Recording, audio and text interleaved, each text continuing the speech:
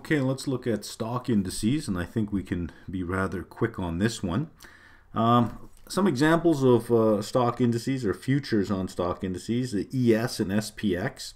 The ES is the S&P Mini, which is 50 times the uh, S&P 500 index, and the SPX is the full futures contract at 250 times uh, the underlying. And the underlying is 500 stocks. S&P 500. So the underlying of the 500 stocks weighted by market cap. And it is assumed to have a known yield. Typically, what you'd have to do is you'd have to figure out, of those 500 stocks, how many are paying dividends? And of the dividends that are being paid, what are the amounts of those dividends over the period of time that we want? And what is the yield? That's a lot of work. So it's usually just uh, uh, uh, estimated at a constant yield that's fairly close from time to time. So, because it has a known yield, there's the formula for a futures price based on the spot price, the risk free rate, the known yield, and the time that the futures contract lasts. So, we can simply just use this formula when you get to an index and whatever the yield happens to be. There is a problem with index arbitrage however. It is almost impossible to buy or short the underlying. Because if you see a mispricing, you have to buy or sell, depending on what you're doing, you'll have to buy or sell the underlying. That's 500 stocks that you have to buy in different proportions, some of them in fractional proportions, unless you multiply the least common one to get a whole number and multiply that all the way through you're talking about some big dollars and some big trades, and you got to be fast. That's 500 that you have to do. So that's really, really program trading. Uh, and who would engage in this kind of thing? A fund uh, that um, probably tracks the index itself. So there might be a fund that's uh, that uh, has a, a benchmark as the S&P 500, and they're attempting to beat the S&P 500 by overweighting and underweighting certain components. And when an arbitrage opportunity arises that's greater than their transaction costs, they may have a computer program ready to just execute that quickly so that they can get all those orders in half a second or a second, whatever the case is oftentimes you don't actually have to do all 500 stocks. Oftentimes you can find a group of 50 or 60 that the correlation between the movements of those 50 or 60 end up being like 99.5 or 99.6.7% of the entire S&P index that they end up being the majority of everything so that if you focus on just that smaller sample in the larger population of 500 you can get close but this is not somebody sitting on the sideline saying, I have no position in either one. I see an arbitrage opportunity, let me step in. This typically means that if you're a seller of, of the index itself, a seller of the underlying, you probably already are a holder of the underlying. And if you are a buyer of the underlying to take advantage of arbitrage opportunity, you probably already are in that field to begin with. So you're probably already playing that index to begin with. And index arbitrage really belongs to those big funds and those big firms that are already doing index investing anyway. So the argument, the arbitrage argument would still hold, although again, it's not going to be everyone that can take advantage of this, but that's not necessary. All we need is is a number of large players that will step in and do this and yes, there are some that will step in and do this. There are those that do do it. So because we know that they are out there doing it, the arbitrage argument still holds, so we can accept this uh, as it stands. So let's uh, let's just do a, a little example here, and we'll put our timeline out. And let's say that we observe the spot price on the index at inception, at contract inception is 1300 and there's a certain amount of time that we want to cover and that time is three months. We're looking at a futures price today for a three month delivery in the future. Uh, we know that the um, return on the index is 1% per annum. And typically we would convert this into continuous compounding. Uh, because it's an index we're going to assume that it's 1% per quarter or sorry, 1% per annum with 0.25 per quarter. In other words, M equal to 4, but we'll just skip that for now. You would you would convert that to a continuous compounding, but we're really just trying to show how this all comes together. And the risk-free rate of 5%. So basically you would just uh, um, just uh, substitute it in. We have 1300 uh, on the index today, e to the 0.05 minus 0.01 uh, and of course it's for three months and you'll get 13 1307 this number by the way is referred to as fair value. So if you ever hear uh, uh, if you're watching CNBC or Bloomberg and you hear that the futures are trading uh, at 10 points above fair value or 10 points below fair value you know what fair value is Fair value is what the index should be trading at for the next expiration date. That's for the next expiration date. So whatever uh, whatever period of time this is, when we refer to the fair value of the index, we're talking about T being the very next uh, uh, futures contract in the series that expires. So whatever the next the front line contract is, we refer to that as as uh, as fair value.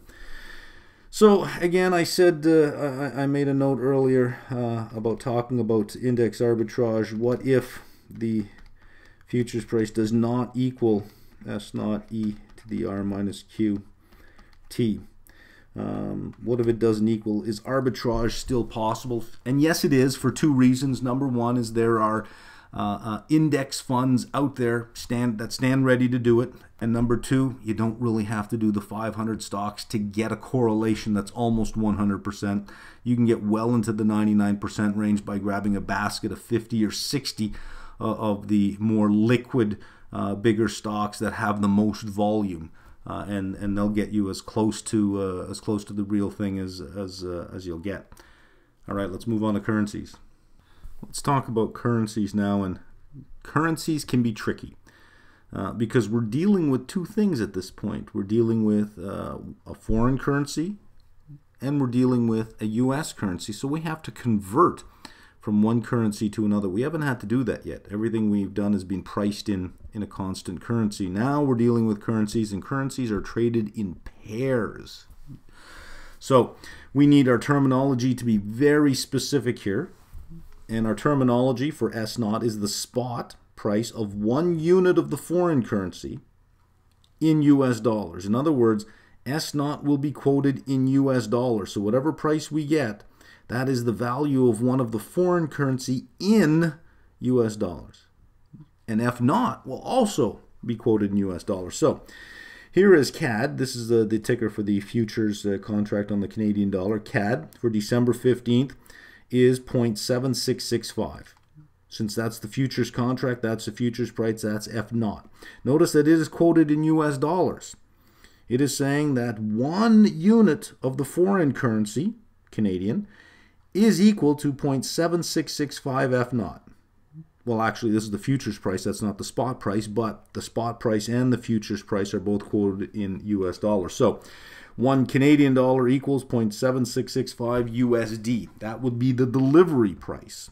If we want to know what the spot looks like, spots are quoted in pairs. So the most uh, the common uh, terminology for the US uh, uh, for this pair is USD.CAD. Now the order of the pair matters. The order matters. What this is saying is that one US dollar buys how much of the CAD. So when we look in the spot market for US.CAD, we find at the time that, that the futures price was at this point, we find 1.30403. Well, this is the wrong way. This this doesn't help us at all. Because what this is saying is that one US dollar is one a dollar thirty point four oh three Canadian. That doesn't help us. We need the spot price in terms of one unit of the foreign currency in US dollars. So we need, we don't want the US.CAD, we need the CAD.USD. Remember, the first of the pair is always the one. So whenever you're looking at uh, uh, Forex pairs, uh, the first unit, you can always say one of the first unit buys this much of this currency. So the one unit of this of the US buys the quoted price of this currency. That's how we read it. So we need it to be CAD.USD. And the way we get CAD.USD is equal to 1 over 1.30403, which would be 0.7668. Look at the futures price, 0.7665. Notice how close they are. So now we need our spot price in terms of CAD.US. Once we have that, we need our futures price will also be in the same currency. That's an important point because there are some currencies that are quoted uh, quoted as the US is the first of the pair, and there are some that are quoted where US is the second of the pair. For instance, the euro is quoted euro.usd. So there's no need to change whatever spot price we find for euro.usd. There's no need to change that. And that's about 113.50. So what this reads is that 1 euro buys 1.1350 of the US. Since that's already in US dollars, we don't have to change it. But for the Canadian, it's USD.CAD, which means that we have to flip it around and invert, invert it to get the spot price that we want. Typically on any trading platform in your little box where uh, you're quoted your price, there'll be a, a little arrow that looks like this. If you click on that, it clicks the pairs around so that you can actually see it. I'm going too far afield, but there we go. So what we're looking for, if you find a spot rate as xxx.usd, that's in the it's it's in the right uh, format. What we don't want is USD.xxx. If we have this, you have to invert the price to get uh, what we want. So how do we uh, how do we calculate uh, F naught on a futures contract? We need to know uh, on currencies. Well, how will we think about it? Any currency trader knows that at five o'clock every day you have to pay the roll. What is the roll? Well, when you look at the pair that we have here, U.S. CAD, uh, there's two there's two currencies here, the U.S. dollar and the Canadian dollar. So let's say that I buy the pair. When I buy the pair, I'm betting that this goes up, which means that I am betting that the US dollar strengthens against the Canadian dollar because I'm betting the US dollar buys even more. One US dollar buys even more of a Canadian dollar. So when I'm long, I'm long the US, I'm short the Canadian. If I short the pair, that means I'm long the Canadian and short the US because one US dollar will buy less and less and less of the CAD. So the US, I could say the US is weakening against the Canadian or the Canadian is strengthening. But here's the thing every currency has an interest rate associated with it. Every currency. So if I'm long the Canadian, sorry, long the US and short the Canadian, I will make interest on my US dollars, but I will have to pay interest on the Canadian dollars which means that spread, the difference between the interest I can earn and the interest I pay, if the US is paying 2% and the Canadian is paying 1%, my roll will be positive, which means every day I'll make some interest. I'll make net interest on that trade. But if I'm long a low yielding currency and I'm short a high yielding currency, I will have to pay interest every single day on my on my spot trade, not on the futures. That doesn't work. This is just on the spot. So because of that, we can conceive of every currency as having a known yield. So here we are. R, we know, is the U.S. risk-free rate. RF is the foreign risk-free rate. So, if we can conceive of every currency as having a known yield, that is just E to the R minus QT. But let's use the proper notation. I'm just saying that, uh, remember the known yield is Q. We would actually write it as S naught E to the R minus the RF T, where Q is analogous to RF. So it would be the domestic uh, rate or the rate on the currency that we're long minus the rate on the currency that we're short. And because we're dealing with the futures, US futures, it will always be in US dollars. R will always be the US risk free rate.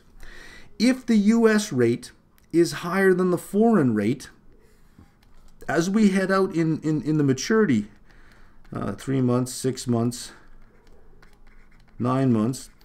As we head out on the uh, uh, looking at calculate the futures price three months out, six months out, nine months out, we should get uh, an upward sloping uh, line because this would tell us that the U.S. currency uh, pays a higher interest rate than the foreign currency. However, if the foreign currency has a higher interest rate than the current currency, we would get a downward sloping futures curve the further out uh, that we go. So keep that in mind. That's something uh, uh, particular to currencies. You have to make sure that you're looking at your currency in the right format, something, something, something dot USD. If you're looking at that spot price, you're right. As long as USD is in second place, you'll have the spot. Typically, the XXX will have, it'll be the same uh, uh, uh, ticker for the uh, futures price. So us.cad, I can flip it around to cad.us. I can type in CAD in my trading platform to search under futures, and I'll get all the Canadian, all the US-based CAD futures contracts uh, by month listed out. There we go. Let's move on.